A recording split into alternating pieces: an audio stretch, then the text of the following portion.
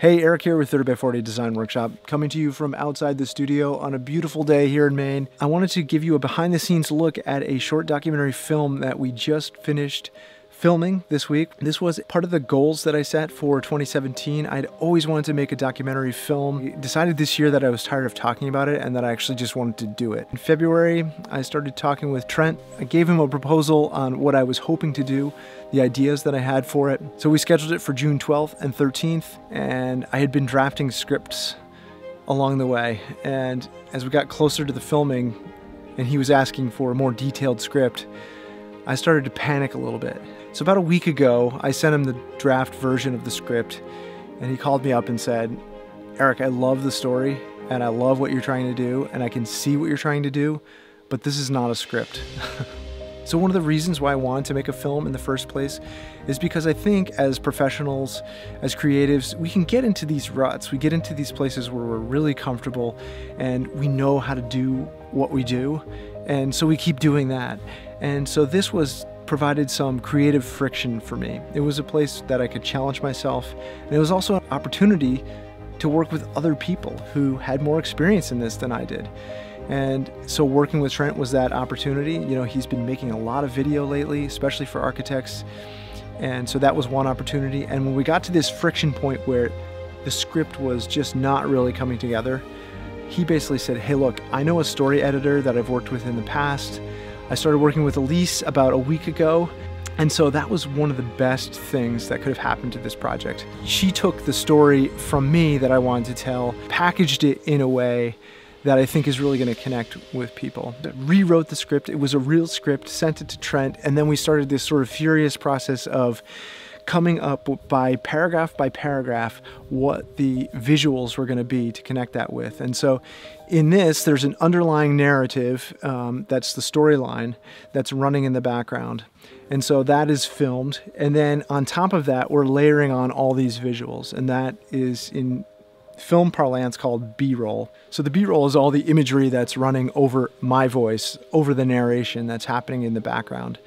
And actually the B-roll takes quite a long time to get. And so what we did was take the script, for every paragraph we decided what B-roll shots we needed. And then from those B-roll shots, we compiled a master list of the B-roll. Hey, good morning. It's Monday morning. We have a two-day video shoot to grab all the footage for the short documentary film that we're making.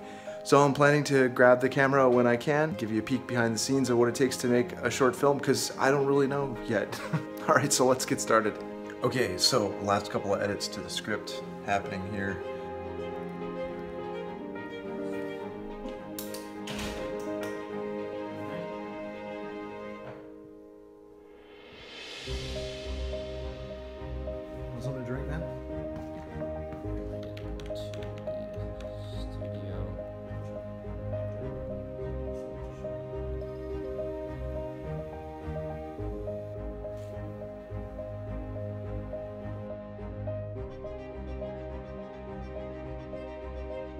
Lean in a little more, Corey. And then look above, above camera, yeah. You're great. so that would be drawings and stuff. Okay, so day two, about 5.15 uh, in the morning. Another nice day. We have kind of a little bit of weather coming in, 10 a.m., 2 p.m. they say. So we're gonna have to kind of plan the shoot around that. But day one was really fantastic, really interesting. So what I really picked up on was the fact that you need so much B-roll, so much extra footage, um, and each one of those shots takes time to set up. And so it was just an incredible amount of work, even to get just a small little shot. It's super buggy out here, so I think I'm gonna have to go in. Um, but it's another beautiful day here. Sun's coming up. Um, these guys are getting ready to show up at 8 o'clock and then we're gonna start shooting.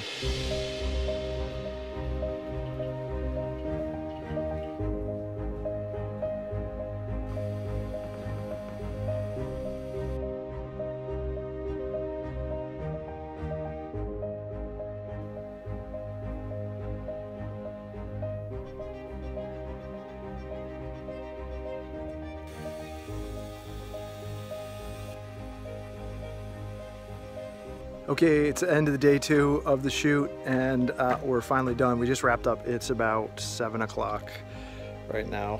Uh, we started at about 8 in the morning. So the afternoon wasn't totally sunny, but it's actually good for the interior shots to have it not be so uh, lit from the sun here. Beautiful night. Let's see if you can see the sky so appreciative for the opportunity to work with other professionals, to learn about how Trent puts film together, the different equipment that he uses. We did time lapse photography, we used sliders, we used the Mavic Pro, the drone that I just picked up, a whole bunch of different techniques. He has a DJI Osmo that we got to use, so some gimbal follow on footage, vertical sliders, you know, handheld shots tripod stuff, just a whole variety of different techniques and equipment to learn from and sort of brush up against. So it touched on every sort of creative nerve that I had around filmmaking and it only made me want to do it even more. So the next step here is going to be taking all the film, all the video that we captured and then compiling it, um, editing it down and really making it support the making the visuals support the uh, audio story that's there and that's the real trick with film we're hoping to have it done within the month so I'll keep you guys in the loop on this. I think the story behind it is really going to resonate with all of you uh, because it's a personal story of mine, but it's a story that's bigger than me. I think it'll connect with anyone who struggles with being purposeful in life and figuring out how to prioritize doing the things that you really want to do. And so I'm excited to share this story with you guys. Thanks as always for being a subscriber. Thanks as always for watching. Um, click down below and give me a thumbs up if I've helped you in any way at all with this, or if you're excited to see the video, let me know in the comments. All right, talk to you soon. Cheers.